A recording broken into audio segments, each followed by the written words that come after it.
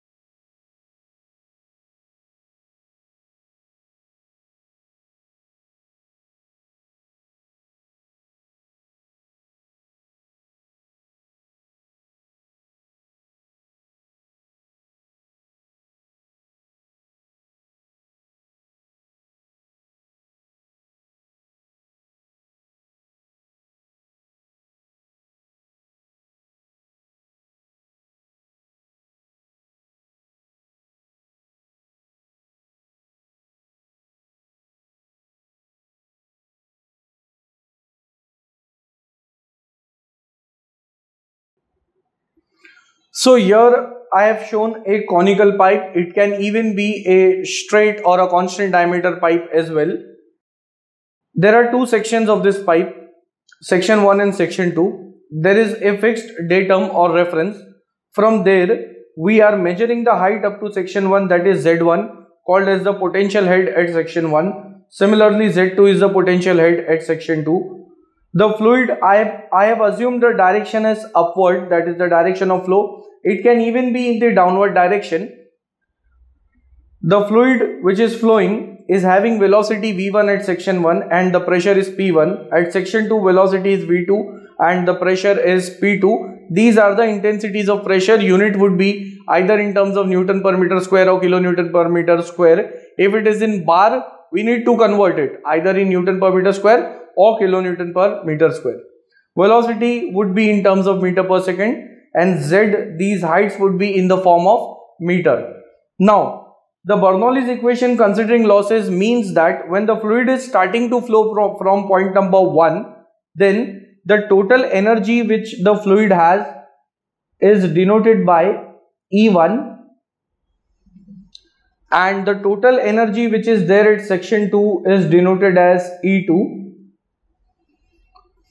so losses means when the fluid is flowing from one section to other, then at section 2 the energy would be less. It means there is drop in energy. So E2 value would be less than E1 value.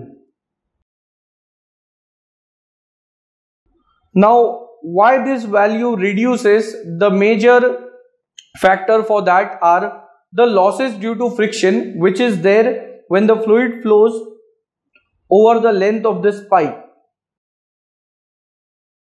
So when it flows over the length of this pipe, there will be loss of head which is called as the head loss due to friction considering it as the major loss. So here I am writing the Bernoulli's equation considering the losses.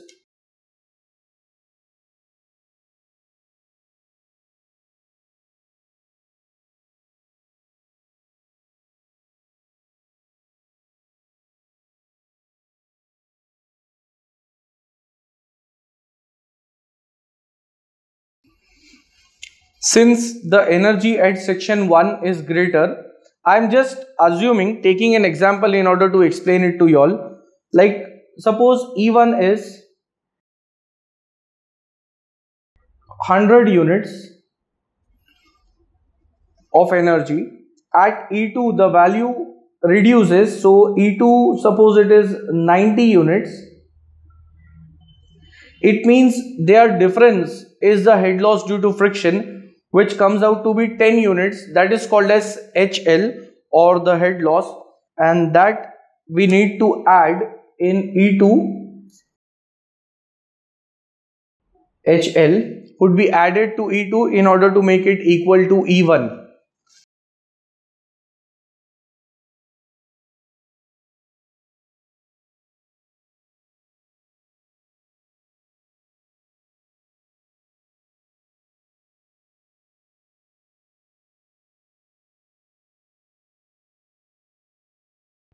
So this is the Bernoulli's equation considering HL which is the head loss due to friction. And why friction? Because out of all the losses the head loss due to friction is the major loss.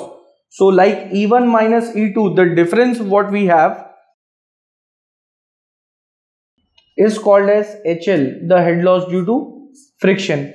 And again it is not compulsory that energy at section 1 would be greater always it can even be the case like E2 can be greater in that case E2 minus E1 would give us the head loss due to friction. So in short that was a video regarding the Bernoulli's equation considering losses. In one of my videos I am going to give the derivation of this formula as well. At the end if you all find my videos helpful you all can like, share, comment and subscribe our channel and share it among your family and friends. Thanks for watching.